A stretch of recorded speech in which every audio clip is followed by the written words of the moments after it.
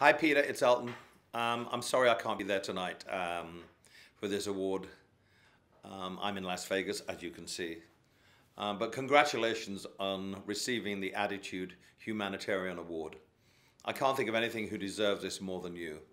Both David and I have such respect for you and such love for you.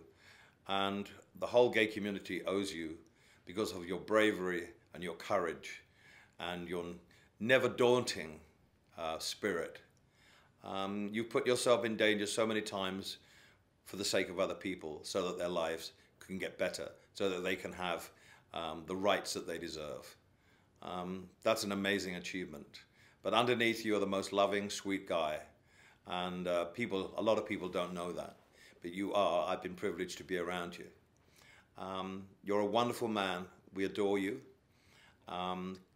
Keep up the good work. You've inspired so many people, including myself and David, to try and make human rights an issue that people can't ignore. Have a great evening.